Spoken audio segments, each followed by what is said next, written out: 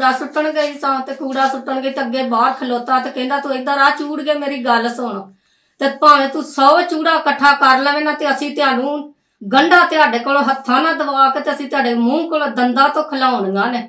ਤੇ ਚੂੜੇ ਚੂੜੇ ਕਹਿੰਦੇ ਨੇ ਤੇ ਇੰਨੀ ਮੇਰੀ ਬਦਤਮੀਜ਼ੀ ਇਹਨਾਂ ਨੇ ਮੇਰੇ ਨਾਲ ਕੀਤੀ ਕਿ ਜੜੀ ਤੇ ਉਹ ਮੇਰਾ ਪੁੱਤਰ ਜਵਾਨ ਹੈ। ਤੈਨੂੰ ਫੜ ਕੇ ਤੇ ਮਗਰ ਅਸਲਾ ਲਾ ਕੇ ਜਾਂਦੇ ਨੇ।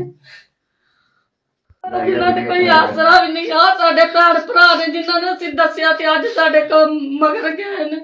ਅਸੀਂ ਇਹਨਾਂ ਤੋਂ ਪਿੱਛੇ ਆ। ਉਹ ਗਨ ਲੈ ਕੇ ਇਹਨਾਂ ਦੇ ਪਿੱਛੇ ਚੜੇ ਨੇ। ਤੇ ਇਹਨਾਂ ਨੇ ਬੜੀ ਮੁਸ਼ਕਲ ਆਪਣੀ ਜਾਨ ਬਚਾਈ ਤੇ ਫਿਰ ਅਸੀਂ 15 ਤੇ ਕਾਲ ਕੀਤੀ ਹੈ। ਭਰ ਗਿਆ ਵਾ ਕੋਦੋਂ ਗੰਨ ਕੱਢ ਲਿਆ ਇੱਕ ਉਹਨਾਂ ਨੇ ਚਾਰ ਚਾਰ ਚਾਰ ਪੰਜ ਜਣੇ ਆ ਬੁਲਟ ਮਾਰ ਲਿਆ ਸੀ। ਮੇਰਾ ਉਹਨੂੰ ਸ਼ੂਟ ਕਰਨ ਲੱਗਾ ਮੈਂ ਭੱਜ ਕੇ ਅੰਦਰ ਵੜ ਗਿਆ ਵਾ।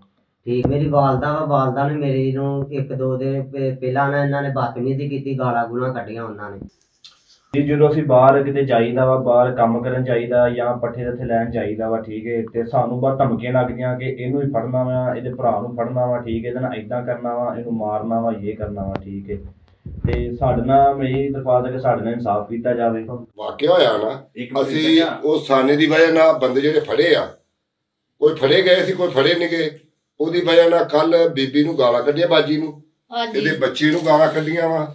ਇਹਦੇ ਮਗਰ ਰਫਲ ਲੈ ਕੇ ਚੜ ਗਏ ਨੇ। ਅਸੀਂ ਮਜ਼ੀਦ ਕਹਿਣਾ ਚਾਹੁੰਦੇ ਗਵਰਨਮੈਂਟ ਸੇ ਸਾਡੀ ਅਪੀਲ ਆ ਵਜ਼ੀਰ ਆਲਾ ਸੇ ਔਰ ਗਵਰਨਮੈਂਟ ਸੇ ਵਜ਼ੀਰ ਆਜ਼ਮ ਸੇ ਆਈਜੀ ਪੰਜਾਬ ਸੇ ਅਸੀਂ ਕਹਿੰਦੇ ਹਾਂ ਸਾਨੂੰ ਇਨਸਾਫ ਦਿੱਤਾ ਜਾਏ। ਇਸ ਬੱਚੇ ਨੂੰ ਧਮਕੀਆਂ ਮਿਲਦੀਆਂ ਮਜ਼ੀਦ ਇਹਦਾ ਇਨਸਾਫ ਦਿੱਤਾ ਜਾਏ। ਕਿ ਹਮਾਰੇ ਸਾਥ ਜੋ ਜ਼ੁਲਮ ਹੋ ਰਹਾ ਹੈ ਅਭੀ जो शुरू 16 तारीख से शुरू हुआ, अभी तक वो चल रहा है। तो हमारी दरख्वास्त है कि हमारे तहफ़ के लिए कोई काम किया जाए।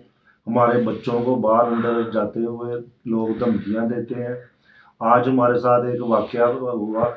बच्चा जो अपने दरवाजे के सामने बैठा हुआ था, उसके हमसाए ने आकर उसके गन पॉइंट पे उसको डराया, धमकाया और उसकी वालदा को गालियाँ दी। और इसके अलावा भी उसको तरह तरह से धमकियाँ मिल रही हैं कि तुम्हारी टांगे काट देंगे, ये कर देंगे, वो कर देंगे। आपसे दरख्वास्त करती है कि हमें तहफ़ आ जाए। ये सब लोग मसीह जो है काट चक महारा वाला से हम बात कर रहे हैं और हमें इस तरह से कभी दो, तीन दिन में ये तीसरा वाक्य हुआ है और एक बंदे ने ही सारा ये किया है। वो कभी किसी को गाली दे रहा है कभी किसी को गाली दे रहा है तो हमें तो दिया जाए